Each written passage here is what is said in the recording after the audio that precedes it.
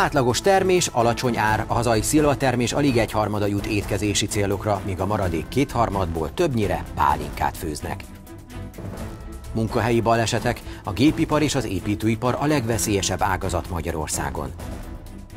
FINE program. Két napos nemzetközi tréninget tartottak a koraszülött csecsemő gondozásának fejlesztése érdekében Nyíregyházán.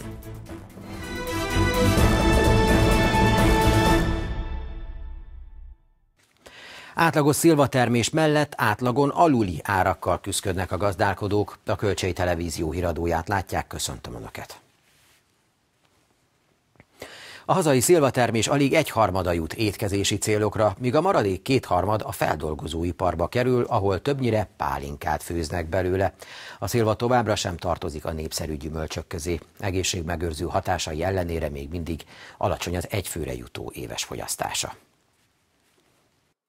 Átlagos szezonnal zárnak a szilvatermelők, akik mintegy 60 ezer tonna gyümölcsel látják el a hazai piacot. Mivel a feldolgozók a tavainál jelentősen kevesebbet fizetnek, volt olyan gazda, aki inkább elajándékozta vagy a fán hagyta a termést.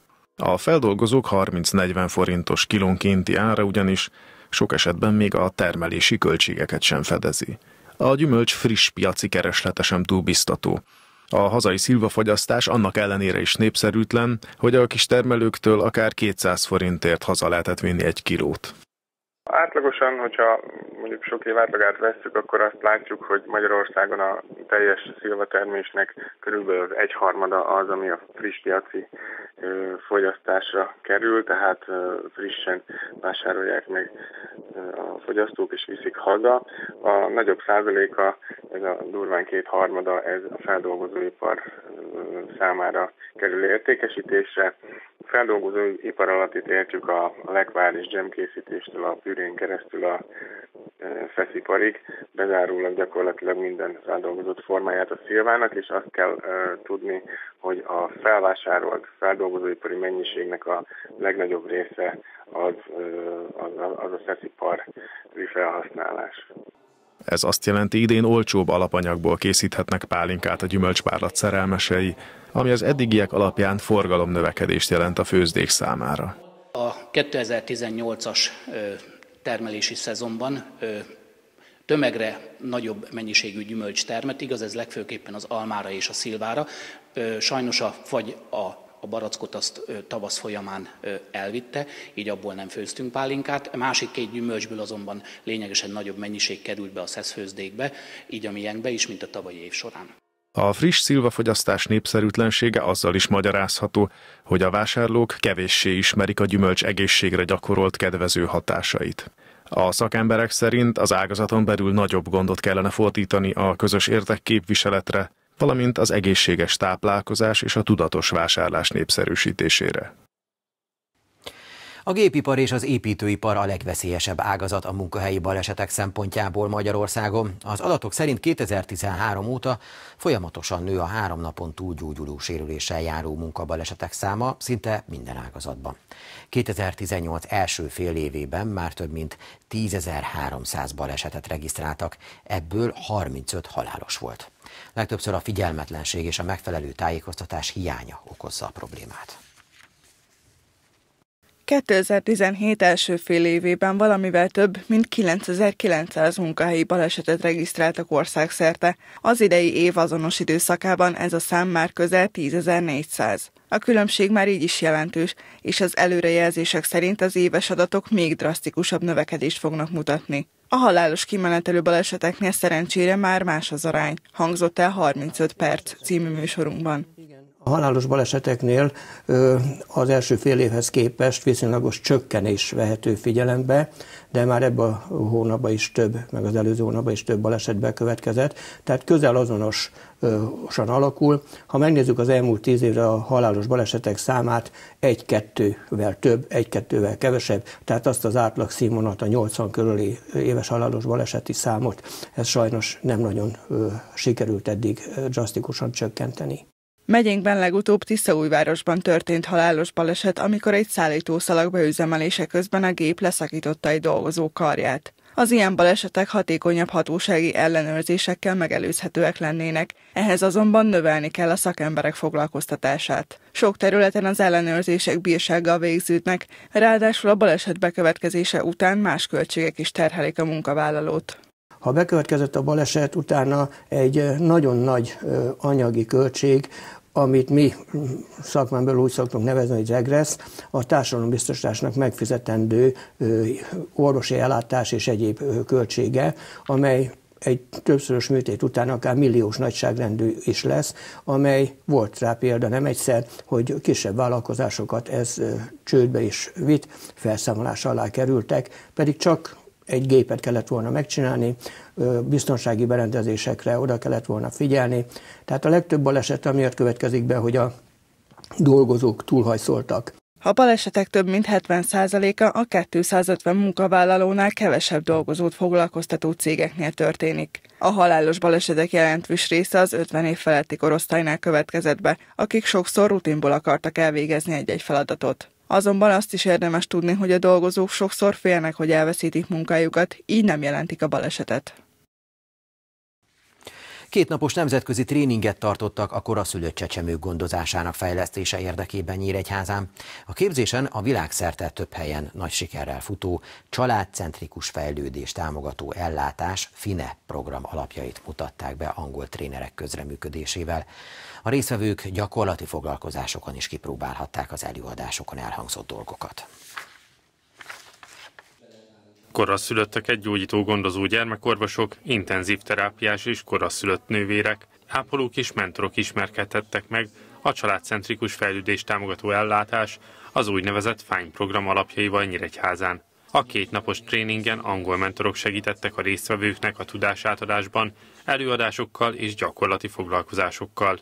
Egy évvel ezelőtt nyertük el azt a pályázati pénzt, uniós forrás, amiből az egész észak-alföldi régióba koraszülötteket nevelő családokat kell alapvetően támogatnunk, és a, az ő életük a, a, az intenzív osztályon indul. Az első, nagyon legkritikusabb időszak ott telik el.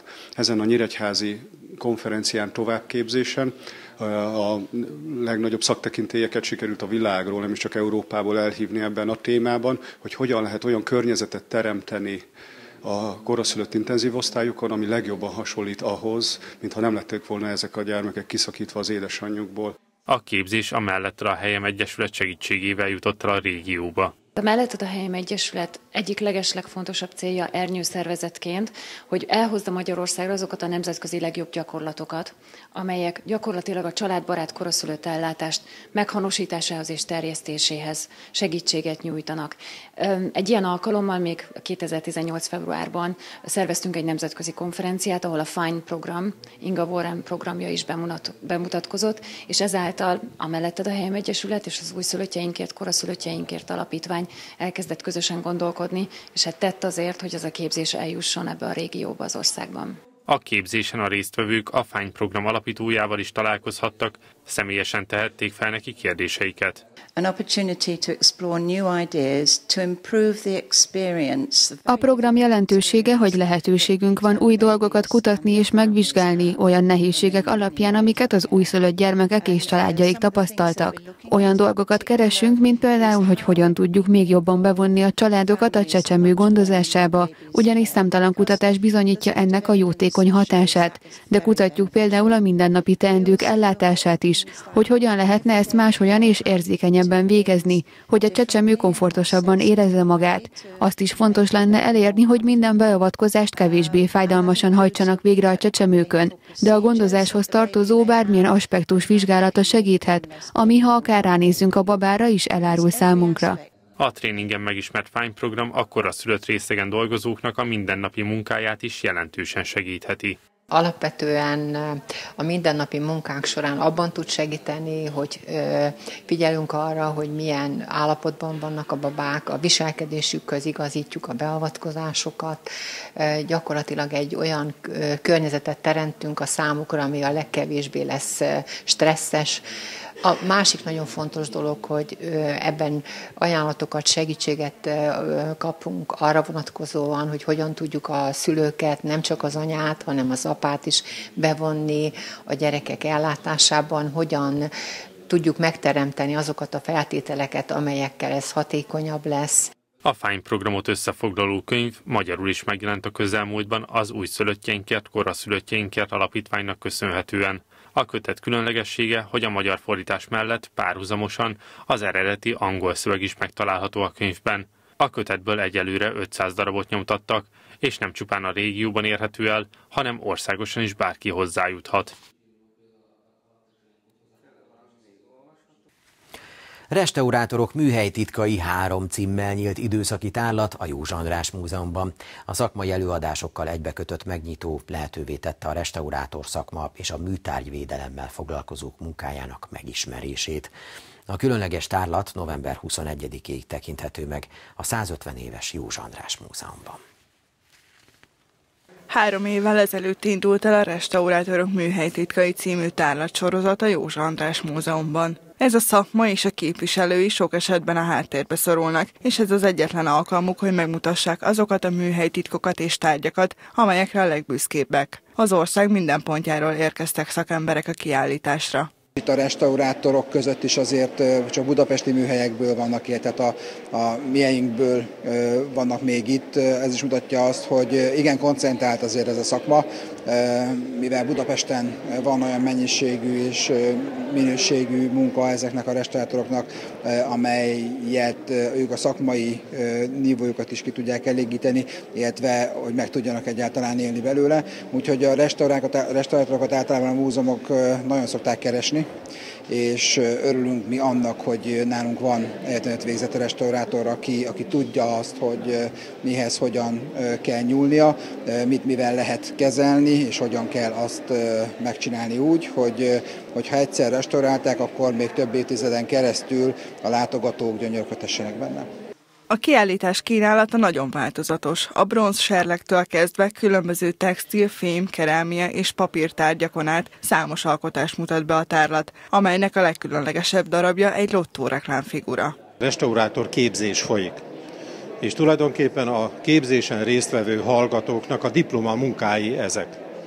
És ahány restaurátor végez, ugye, akik igazán mesterei lesznek ennek a szakmának, ezek tulajdonképpen a szakma remekeit mutatják be ezen a tárlaton. Minden restaurátor, végzett restaurátor két műtárgyat is bemutathat, úgyhogy itt ezen a tárlaton hat restaurátornak a, a tárgyait lehet látni. A kiállítás november 21-ig látogatható a József András Múzeumban. Indiai páncélos rinocéros született a Nyíregyházi állatparkban, ami azért igazán különleges, mert a föld egyik legritkább állata hozott a világra életképes utódot. Magyarországon pedig először született indiai páncélos rinocéros. Az országban csak itt élő indiai orszarvú három egyede az Európai Fajmegőrzési Tenyészprogram keretében él Nyíregyházán. Még óvatosan lépked anyja mellett a kis indiai páncélos rinocéros bébi. Az utód túlzás nélkül zoológiai szenzációnak számít a Nyíregyházi állatparkban. A borjú 60 kg-mal látta meg a napvilágot, és minden nap 1-2 kg-ot gyarapszik, a naponta elfogyasztott 20-30 liter anyatej hatására. Az indiai orszarvú a földön élő öt orszarvúfaj egyike, ez a legnagyobb méretű ázsiai orszarvúfaj. Az állatpark dolgozói büszkék arra, hogy sikerült optimális feltételeket teremteniük mind a párzási időszakban, mind pedig a vemhesség és világra hozatal alatt.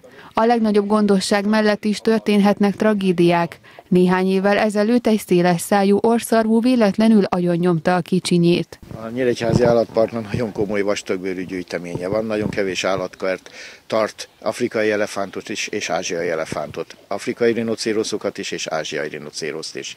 Az afrikai rinocéroszokkal régebb óta próbálkozunk.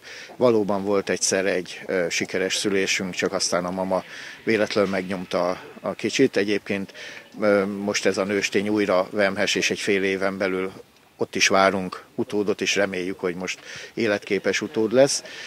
És hát vannak a indiai páncélos rinocéroszok, amit nagyon kevesen tartanak állatkertben, elég nehéz tartani állatkerti körülmények között, és még nehezebb szaporítani. A kisállat születésére több éve vártak a szakemberek, hiszen már az is komoly szakértelmet igényel, hogy természetes módon párzásra bírják ezeket a fogságban nagyon ritkán szaporodó vastag bőrűeket. Őszintén szóval mi, mi sem gondoltunk, hogy előbb lesz páncélos rinocéros bébink életben, mint széles szájú, az azért a legtöbb állatkertben sikerül tenyészteni. Úgyhogy nagyon örülünk, ez az indiai páncélos rinocérosz, India sűrű, Nepál és ott a térség sűrű erdőségeiben él. Nagyon rejtett életmódot folytat, és nagyon kevés van belőle. Európa állatkertjeiben összesen 70 példányt tartanak, idén ez volt a negyedik kicsi, aki született, tehát nem lehet mondani, hogy nagyon nagy a szaporodási rátája, másfél évig vemhes, 16 hónapig, és az alatt is oda kell figyelni nagyon az anyállatra, nagyon érzékeny. Tehát ez nekünk egy nagy szakmai siker, hogy megszületett ez a pici. Szerdától már nem csak a kamerák láthatják a kis utódot. Az indiai páncélos rinocéros bébit 11 és 13 óra között a zöld piramisban nézhetik meg a látogatók.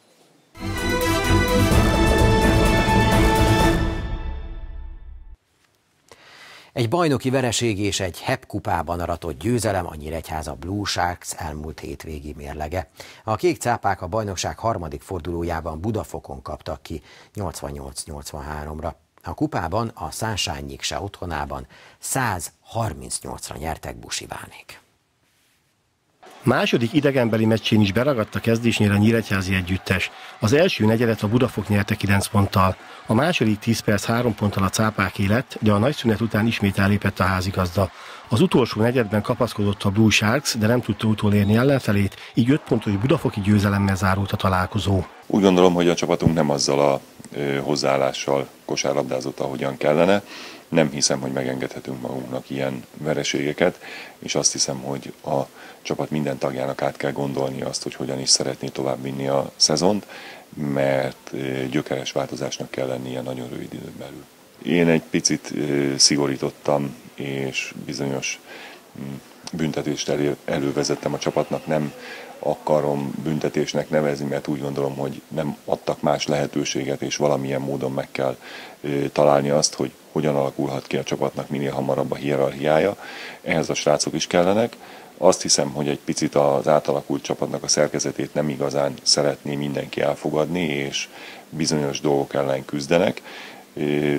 Nekik is elmondtam az öltözőben, Roy Keane szavai csengenek vissza, aki néhány napja azt mondta, hogy a Manchester United öltözőben síró kisgyerekeket lát, akik valami miatt megsértődnek, majd elhatározzák, hogy nem fognak úgy edzeni és úgy dolgozni, ahogyan kellene, csak ez nem egyeztethető össze azzal a munkával, vagy azzal a a szereppel, amiben ők vannak és dolgoznak. Vasárnap a HEP Kupa első fordulójában az NB2-es Sunshine ellen léptek pályára cápák. A találkozón kijött az osztálykülönbség 138 nyert a Blue Sharks. Mindenféleképpen győznünk kellett ezen a mérkőzésen, és mindenféleképpen jó volt az, hogy bizonyos ö, szituációkban egészen jól működött a csapatjáték. Természetesen nem szeretném túlértékelni, hiszen azért osztálykülönbség volt, és várhatóan ö, ezt is vártuk a mérkőzéstől, de azért annak örülök, hogy végre Cura Attila is betalált, és hát ha elindul egy picit fölfelé az ő teljesítménye is. A héten nem játszanak a kék cápák, a jövő héten viszont két meccs is vár a csapatra. Kedden a Vasas érkezik a Continental arénába, pénteken pedig az MTK Török Bálinthoz látogat a Nyíregyháza Blue Sharks. Otthon tartotta a győztesnek járó serleget a negyedik Izsó Mihály emlékversenyen az Újfehértó Kempó HSE. A második helyet a jászárok szállási Firewolf szerezte meg, a harmadik helyen pedig a Herceghalmi Kempó Dojóese végzett. A viadalon 16 egyesület 100 versenyzője lépett küzdőtérre.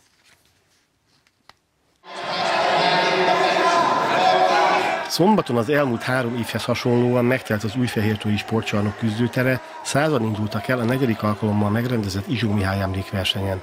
A sportágat a városban meghonosító edző 2013-ban hunyt el. A viadal része volt az országos bajnoki sorozatnak. A résztvevők három technikai és öt küzdelmi kategóriában mérték összetudásukat. Úgy látom, minden évben egyre több szurkoló jön ki, ugye nálunk is egyre több gyerek kempózik, és ugye a családtagok, meg azok ismerősei, tehát egyre több a szurkoló. A Magyar Kempó Szövetség elnöke elmondta, hogy mintegy 6000 űzik az országban a sportágat, amelyet mindenkinek tud ajánlani. A küzdősport az nem csak a fizikumot, hanem a jellemet, jellemet is nagyon erősen építi. Tehát én azt tudom mondani minden egyes szülőnek, hogy aki, aki lát egy kis harcosságot a fiában, lányában, mert ugye nagyon sok lány is űzi a küzdősportot, legyen ez bármilyen küzdősport, az hozza le nyugodtan kempózni. A kempó az egy nagyon összetett önvédelmi rendszer, Tehát amellett, hogy edz a gyerek, amellett megtanulja az önvédelmet is, lesz egy olyan plusz magabiztosság benne, amivel biztosabban, nyugodtabban tud közlekedni a mindennapokban, és ami a legfontosabb, hogy az élethez ad egy olyan plusz önbizalmat, mint saját magamon is tapasztalom, hogy az élet minden egyes területén tudja az ember azt a határozottságot, azt a céltudatosságot, amit az edzéseken gyakorlunk és elsajátítunk, az élet más területén is használni. A csapatversenyt a 24 kampust indító hazaiak nyerték a Firewolf és a Herceghalmi Kempú előtt. A szövetség az eredményeket figyelembe veszi az október végén esedékes romániai Európa-bajnokság csapat hirdetésekor. Most pedig híradunk végén nézzük legfontosabb híreinket még egyszer röviden.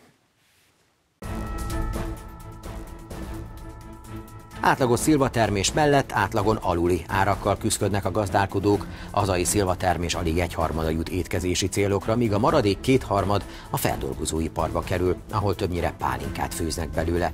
A szilva továbbra sem tartozik a népszerű gyümölcsök közé. Egészségmegőrző hatásai ellenére még mindig alacsony az egyfőre jutó éves fogyasztása. A gépipar és az építőipar a legveszélyesebb ágazat a munkahelyi balesetek szempontjából Magyarországon. Az adatok szerint 2013 óta folyamatosan nő a három napon túl gyógyuló sérüléssel járó munkabalesetek száma szinte minden ágazatban. 2018 első fél évében már több mint 10.300 balesetet regisztráltak, ebből 35 halálos volt. Legtöbbször a figyelmetlenség és a megfelelő tájékoztatás hiánya okozza a problémát. Két napos nemzetközi tréninget tartottak a koraszülött csecsemők gondozásának fejlesztése érdekében Nyíregyházán. A képzésen a világszerte több helyen nagy sikerrel futó, családcentrikus fejlődés támogató ellátás FINE program alapjait mutatták be, ahol angol trénerek működtek közre. A résztvevők gyakorlati foglalkozásokon is kipróbálhatták az előadásokon elhangzott dolgokat.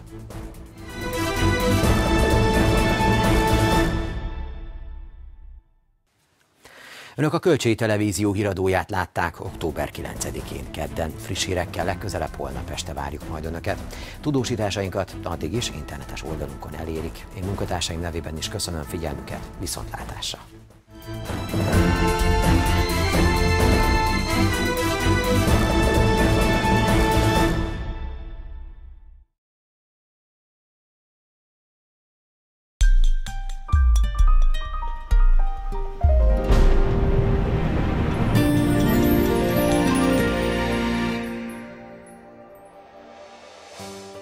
Holnap napos időre számíthatunk. Észak felől szárazabb levegő áramlik be a Kárpát-medencébe, a hét során anticiklon alakítja hazánk időjárását. Az előttünk álló éjszaka túlnyomóan derült idő várható. Éjszaka párássá válik a levegő, köd is képződhet. Csapadék nem lesz. A változó irányú szél gyenge vagy mérsékelt marad. Reggel általában 6 fokig csökken a hőmérséklet. Holnap napközben túlnyomóan derült napos idő várható. Csapadék nem lesz, a változó irányú szél gyenge vagy mérsékelt marad. Délutára 22 fokig emelkedik a hőmérséklet. Fronthatás nincsen térségünkben. A hét további részében derült, napos, csapadékmentes időre, hamisítatlan vénasszonyok nyarára számíthatunk. A hőmérséklet csúcsértéke jóformán az egész országban 20 fok felett várható, az éjszakák fagymentesek lesznek.